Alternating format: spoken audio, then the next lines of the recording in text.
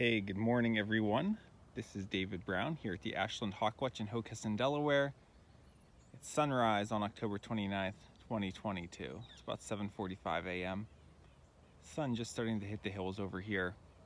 Um, right at the peak of fall foliage, so it's just beautiful, beautiful, beautiful out here. But what I really want to talk about is red-shouldered hawks because Yesterday, I had predicted it would be a decent day for red-shouldered hawks, but actually we ended up setting a new single-day record for Ashland with 118 red-shouldered hawks. And more importantly though, Quaker Ridge up in Connecticut smashed their record and set what's probably a new Eastern USA record, or maybe a record anywhere, for the fall with 532 red-shouldered hawks. The previous record for a day was 277.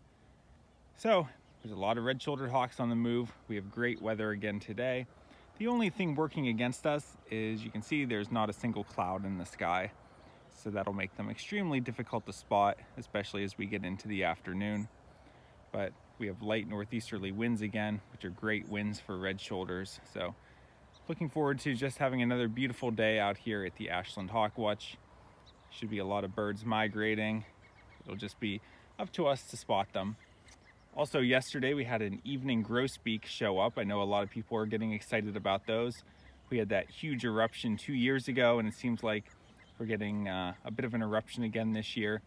So um, that was really the bird of the day yesterday. The day before we had a great look at a golden eagle first thing in the morning. So just a fun time of year. The weather's not that cold, beautiful with all the leaves. So if you can get outside today, definitely do it. Okay, everyone, have a good day.